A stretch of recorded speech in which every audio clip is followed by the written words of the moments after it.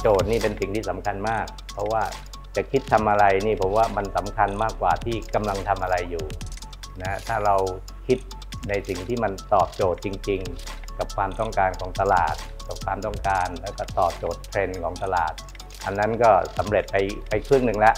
เรื่องของ SaaS Business เนี่ยทุกคนถ้าไม่เข้าใจเนี่ยก็อาจจะมองว่า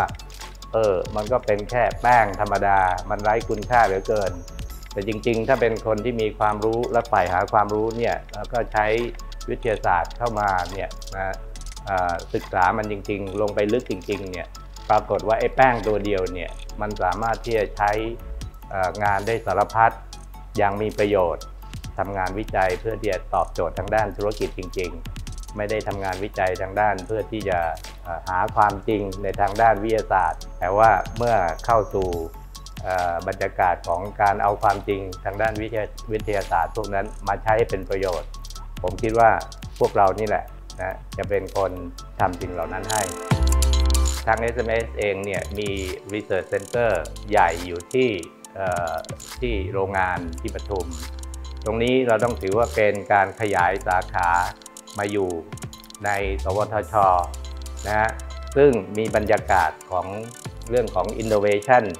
นะฮะแล้วก็มี Participation ร่วมกับอ่าเพื่อนๆ พวกเรานี่ก็จะเชี่ยวชาญทางด้าน SaaS Technology ก็คือมันสำปะหลังนะซึ่งเราสามารถที่จะนำมาดัดแปลงใช้ในทางด้าน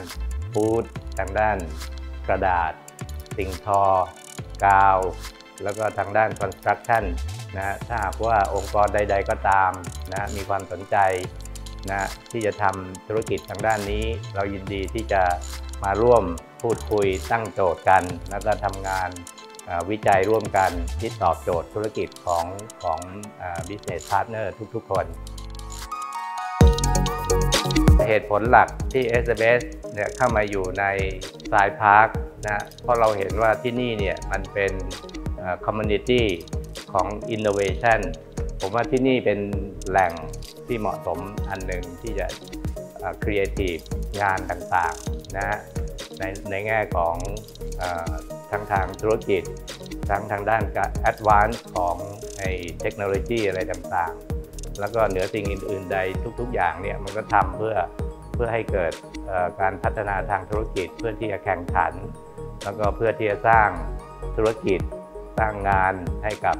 คนในประเทศนะทำให้มันมี Impact แรงกว่าเดิม